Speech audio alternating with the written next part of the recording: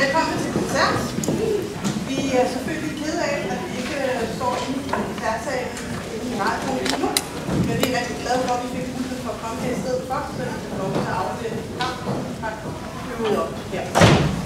Øh, vi starter med at spille en lille Valdemar Polka, som mange måske har hørt før, men som man kunne starte op på. Og øh, så vil jeg sige også, at vi er haft også af nogen, der er sygdom, så vi mangler øh, øh, harpe og baspersonen.